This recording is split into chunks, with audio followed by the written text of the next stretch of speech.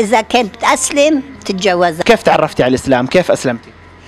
حبيت الإسلام حبيت القرآن حبيت الدين شفت الطهارة شفت الحلو حلاوة شفت الدين الإسلام مفيد وكويس.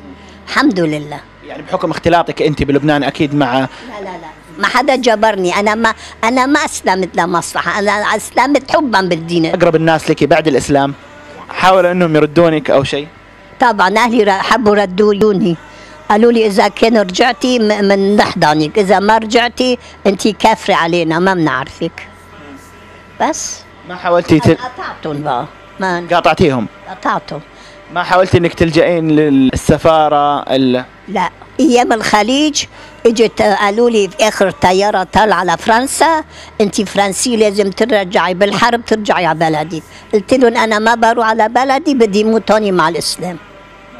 أنا سمعت يعني آه، من خلال بحثي قبل لا اجيكي هنا إنه آه، كنت تحلمين بالمشاعر المقدسة. الاسلام كنت كل يوم بعد يوم أشوف بمنام وإن أنا بطوف وبصحى حوالي الحرم.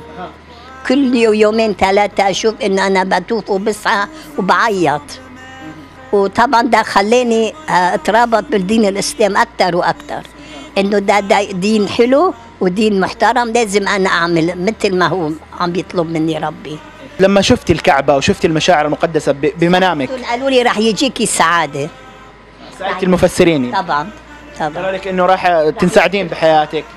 وراح تستقيمي في السعودية. أنا صار لي 35 سنة هون. عم عمر تاني عمر تاني هون. طيب لو تكلمينا 35 سنة من حياتك في المملكة العربية السعودية كيف قضيتيها يا كانت حلوة جدا. وأفتخر إنه أنا عشت في السعودية. وأموت في السعودية. أحبها كتير كتير. الحمد لله. ربنا اداني كل السعادة في السعودية. ولسه أنا عايشة في السعودية. الحمد لله. الحمد لله.